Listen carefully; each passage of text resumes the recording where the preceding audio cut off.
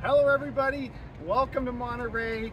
I'm here with RM Sotheby's at their Lost and Found collection, an incredible collection of Ferraris found in Florida by a collector called Walter Medlin. And these cars have been stored for 50 years. They are true barn finds. Let's have a look.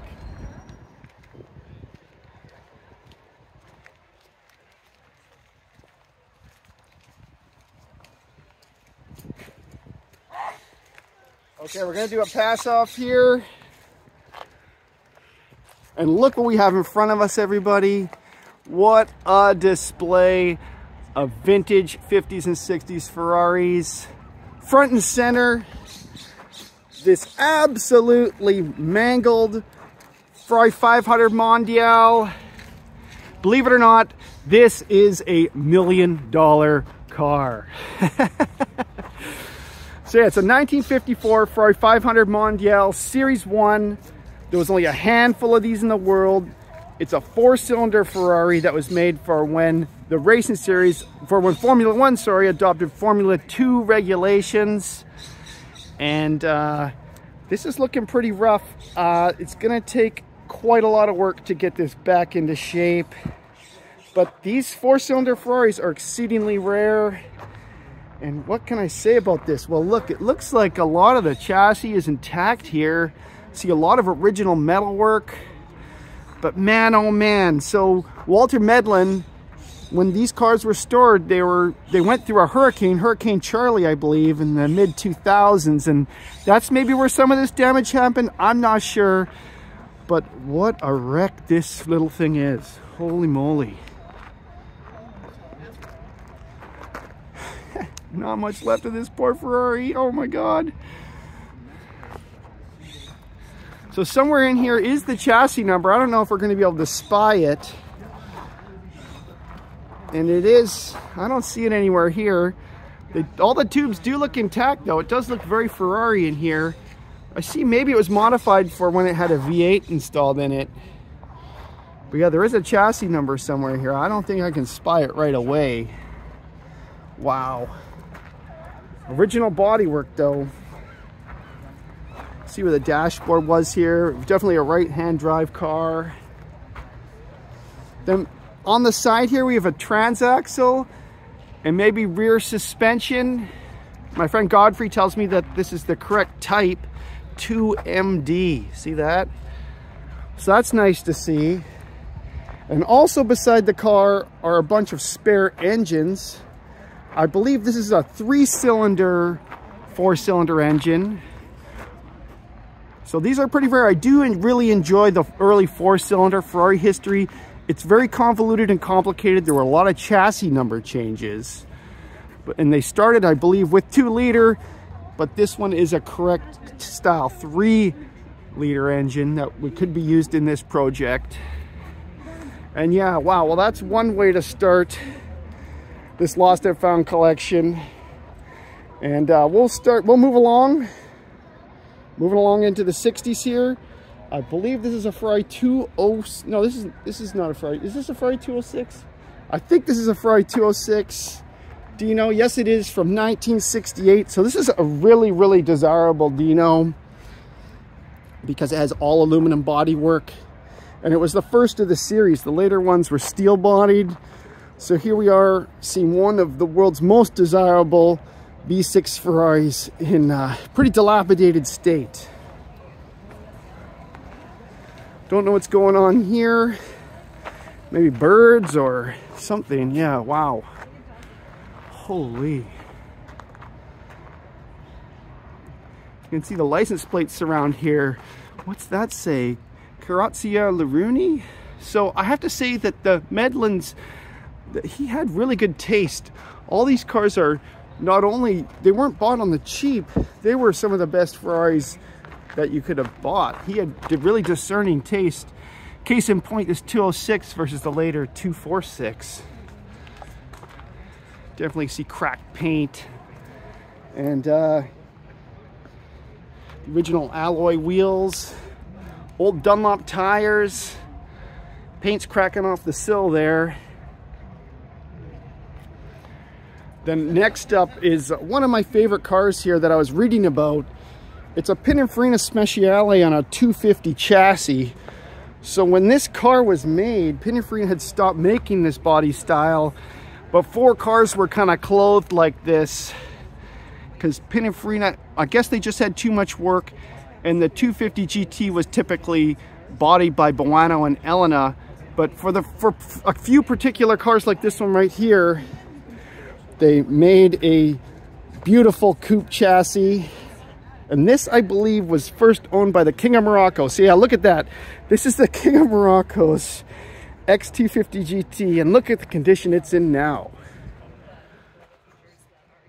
Chipped paint, corroded fenders. So it must be a steel-bodied car. Maybe during the hurricane it lost the rear window. Kind of a peek in here. Still has original radio in there. Looks like original upholstery. Wow. What's in the back? The exhaust is in the back. Headliner's still intact. Holy. You can open the door here. Look at that. There's the original door panel. It's so rare to see a Ferrari like this, you know, a one of speciale in unrestored condition. What an opportunity for somebody to really make a beautiful car out of a project. I love the two-tone. So I think this is the original color. It's a striking color scheme. Kind of a, a low roof Berlinetta, I think the Ferrari guys call these. Again, the petrified uh, wire wheels. Wow. Pininfarina tag. I think these cars are special when it has a little crown on them like that. Wow. I am in love with this one. Just scroll out and have a look at this.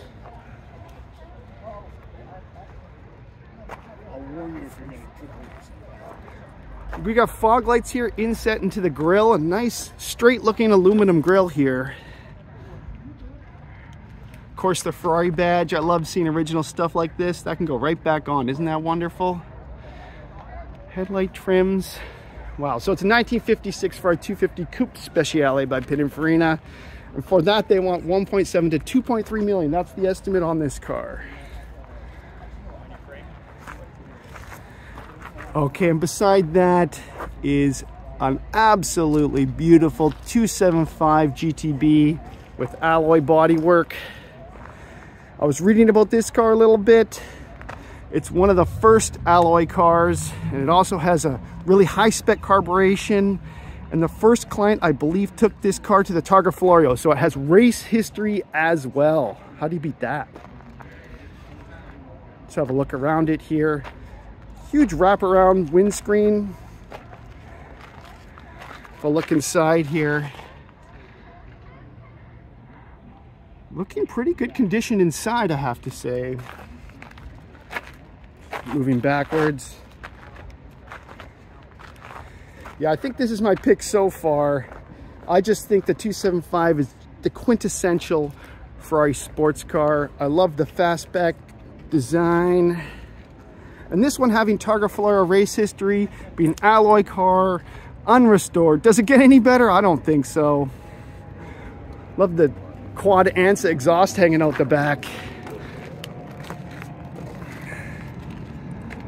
Chrome looks good, very complete car.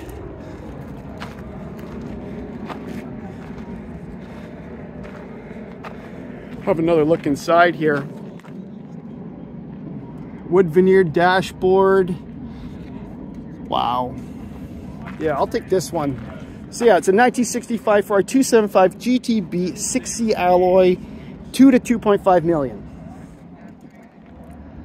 It's hard to believe these cars in this condition can be worth so very much. Then we have a 1965 Ferrari 275 GTS. So this is kind of the luxury cabriolet version of the 275 GTB. This one's looking in great condition compared to the others have a look inside. Yeah, wow, what a great car. Not a whole lot of patina like the other cars. I wonder how much of this is original. This could be one of the best 275 GTSs in the world. Uh, moving right along, one of three 512 BBs prepared for the 24 hours of Le Mans. Isn't this spectacular? Look at the exhaust hanging out here. Wow. Of course, campaigned by Luigi Chinetti, as we can see. And huge rear wing put on here. Super wide flares. Rear wheels are sticking way out. Wow, look at these Campagnolo wheels.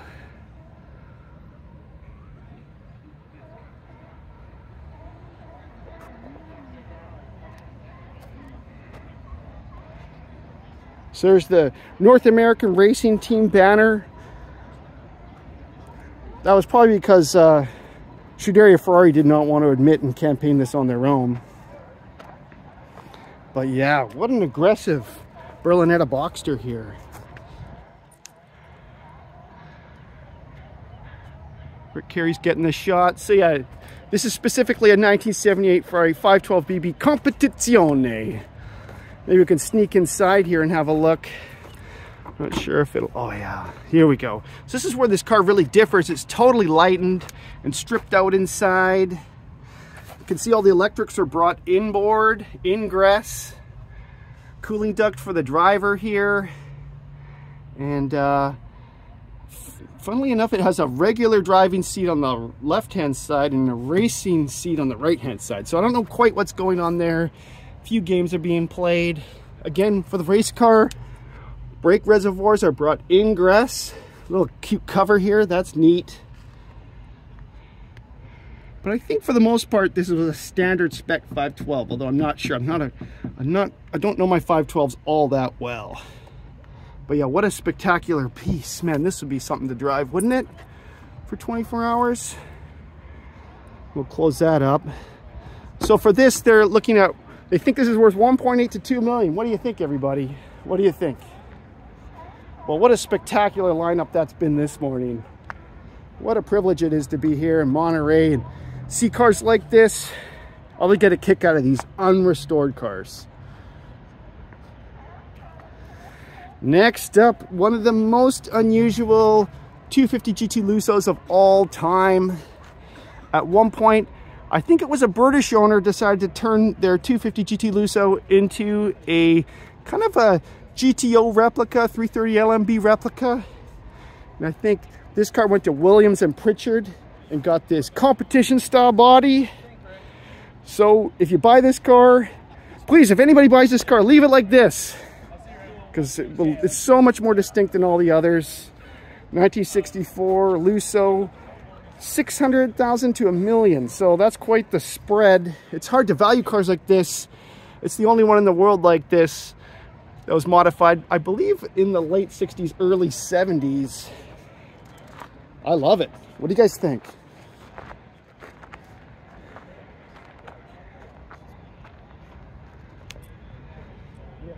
Such a cool shape. Nowadays, this would be a big no-no taking a old vintage Ferrari, removing the body, and putting on a, a, a more modern competition body. But I think it's been a total success. I like this. Side exhaust. Just have a look inside.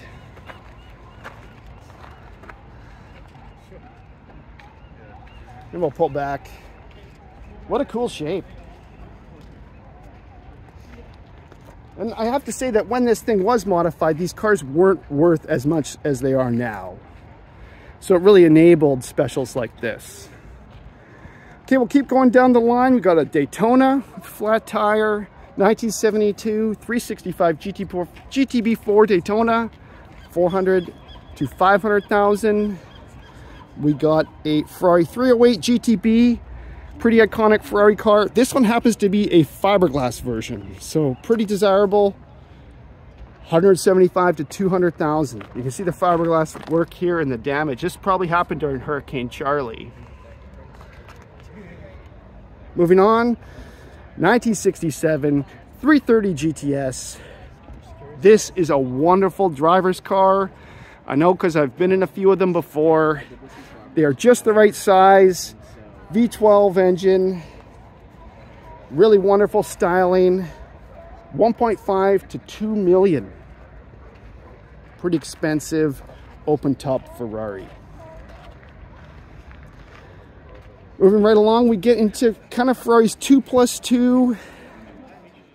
Kind of larger Ferraris, less desirable. This one has absolutely abysmal paintwork. I think it's a 365. Let's have a look. Yeah, it's, no, it's a 330 GT, sorry. So I think this is kind of an interim car. 150 to 250,000. So larger Ferrari, I guess they were going for that American market, I would have to guess. Right-hand drive. Rick Carey just told me it's a right hooker. Wow, look at that in there. It looks exceedingly original. Original leather. Look, the, the wood's delaminated from the steering wheel. Wow. But look at that. There's original Pininfarina upholstery. Wow. The veneer on the dashboard. Yeah, very unusual right hooker. Maybe UK delivery, I'm not sure. I love the blue interior. Oh wow, this just keeps going. What a collection we have here at the Lost and Found section of RM Sotheby's Monterey sale. Holy smokes. So I think this is a 250 GTE Series 2. It was an extension of these 330. So this was the larger version and this was the three liter version. Gonna move a little faster. We're 16 minutes in. So yeah, 250 GTE. Let me get the specifics. 1965 330 GT. Wow, I was wrong again. Look at the double headlights up front.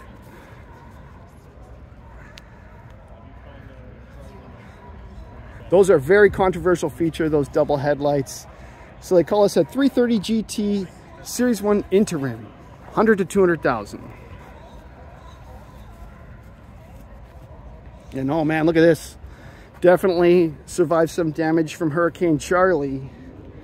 Another big 2 plus 2 Ferrari in bronze, a deep bronze. Now this must be a 365, right? Yeah, here we go. So it's a 69 365 GT 2 plus 2, 170, no, 125,000 to 200,000. Wow. You can see right through the front windscreen. Look at that. Just sneak a peek in here. Again, original leather, original fitment. These are things we only see with long-term storage. And so another 512. This is the production version of the Le Mans race car we saw. I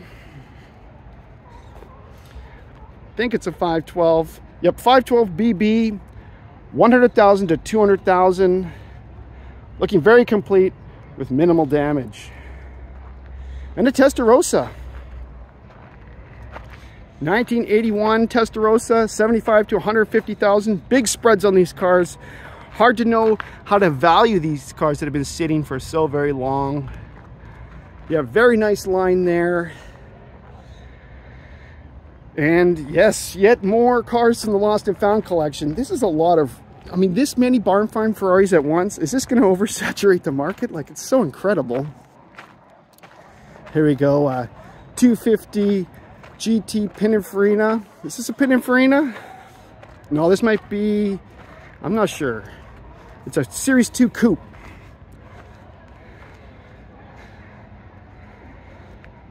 So a lot of these cars lost their bodies early on to make GTO replicas, Ferrari competition car replicas. So it's really great to see one here that survived. I believe this is Pininfarina bodywork. When I first started doing, you know, auctions like this 20 years ago, this car have a hard time fetching $50,000 and now they've have since become million dollar cars. Oh, look at that. It's on vintage Pirelli Cinturatos. How about that? One of my favorite tires. Look at those. They're probably the old original units. That's really neat. Let's have a look inside. Again, how many times are you to see original here, folks? Look at the leather. It's really thick, natural tone leather in there. Wow. Great for Ferrari 250 GT, 200 to 300,000. Put a bumper on there for the European license plate. That might be unique. This might be the cheapest car of the whole collection. What's this, a 410? I can't remember. Again, part of the 2 plus 2 suite of Ferraris. What do we got? It's a Ferrari 400 automatic. Ooh, automatic slush box, no! 20 to 50,000, there you go. Another Daytona, Medlin had two Daytonas. That's pretty impressive. Looks like an early car maybe. 71, 365 GTB4. And the car that was kind of released alongside it, that's 365 GTC4 essentially the same car, except the GTC4 has a back seat. Well, we're nearly done. We're at the last car, but it happens to be one of my favorites. This is a Ferrari 410 Super America Coupe Series 1. Beautiful bespoke Pininfarina bodywork on the long wheelbase chassis with the big Lampredi V12 engine. That is just stunning. Look at that. There's a chicken in there. What, was that inside the car? Yeah, what's that chicken doing under there? What's that chicken doing under there? Must have been inside the car. but yeah, look at the front bodywork here. It looks really, really straight. The grill, the grill shroud, the aluminum, the bumper, and these little finishers. All this stuff was expertly made by Pininfarina, and it's so nice to see it here and intact like this. Now, this was the ultimate Ferrari Grand touring car of the time, two-seater, less than 20 made. It is just so, so wonderful. And to see one here unrestored today, I am in heaven, you know. If I could buy this thing and just get it running and keep it like it is, I would, but I, unfortunately, that's not what's going to happen. I don't, I don't, I have a, that's not, I'm pretty sure we're going to see this car fully restored the next time we see it. Funny tail lights back here. Look at these probably off a Fiat or some small Italian car. Look at that, last registered in 1978. How about that? Wow. Let's have a look inside. So these cars were really, really top level, you know, lined glove boxes, the whole meal deal. This one even has uh, headrests. Look at that. Maybe the driver's side one is missing, but there's one for the passenger side. That's very unusual. Ha! the the leather upholstery on the dashboard is just totally shot. Look at that. It's showing 32,000 miles on the Veglia gauges. Holy. See the way the door panel's done? Wow. I don't know if we can sneak a peek in the big engine here, can we? Oh, we can. Look at that. So there it is. That's a big Lampredi 4.9 liter V12. How about that? Amazing. Look at how petrified it all is. Wow. Holy moly. Look, original wing nuts there on the air filter. Oh man, I am falling in love. I'm really falling in love with this thing. Oh my God. This is definitely my pick. 1956 Fry 410 Super America. Holy moly. What a wonderful car to buy and preserve for all these years. Wow. All right, everybody. Well, that's been 24 minutes of barn find Ferraris. What do you think? What would you come home with? I'd be taking that Ferrari 410 right there, that beautiful red one. Yeah, so there we are. That's it. That's my tour of the Lost and Found collection here with RM Sotheby's. Thanks for watching, everybody. If you have any comments, please, I'd love to hear from you in the comments below. And yes, I will be following up with some of the other amazing cars down there. They're going to sell over $200 million worth of cars here in Monterey. This is the top car auction in the world. All right. Thanks for watching. See you later, everybody. Bye-bye.